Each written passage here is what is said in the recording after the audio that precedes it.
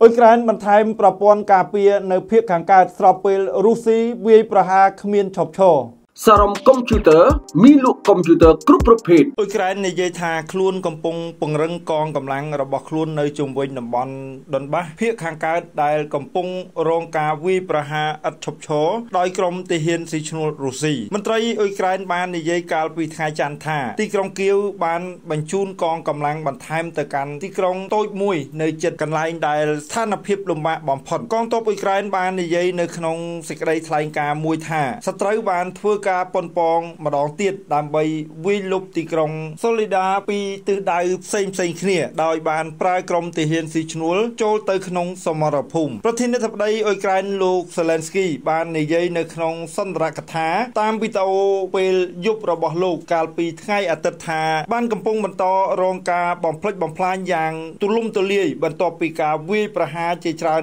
ខែរបស់រុស្ស៊ីគួរជម្រាបថាកាលពីថ្ងៃអាទិត្យរុស្ស៊ីបានអះអាងថាបានវាយប្រហារដោយកំជ្រួចលើទីក្រុងបានសម្លាប់ទាហានអ៊ុយក្រែនចំនួន600នាក់បើទោះបីជាអ៊ុយក្រែនបានបដិសេធថាមិនមានអ្នកស្លាប់នៅក្នុងការវាយប្រហារក៏ដោយសរំកុំព្យូទ័រមានលក់កុំព្យូទ័រគ្រប់ប្រភេទថ្មីនឹងមួយទឹក laptop desktop all in one printer ហើយនឹងសម្ភារៈកុំព្យូទ័រគ្រប់ប្រភេទជាមួយនឹងសេវាកម្មជួសជុលទំនាក់ទំនង